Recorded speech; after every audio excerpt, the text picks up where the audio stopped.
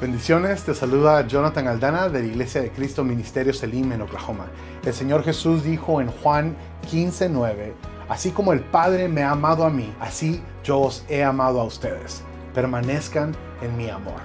Permanecer o habitar en el amor de Cristo es para mí uno de los mandatos más importantes en nuestra vida, porque nosotros hemos sido llamados a dar frutos, pero la palabra del Señor dice, alejados de mí, nada podréis hacer. Así como un árbol que crece y tiene ramas y sus ramas dan frutos. Las ramas no pueden dar frutos sin estar apegados a esa fuente de vida. De la misma manera, el Señor Jesús, siendo la vid verdadera, nos llama a nosotros a ser esas ramas que den un fruto que glorifique el nombre del Señor. Si tú quieres dar fruto, es necesario que permanezcas y habites en el amor de Cristo.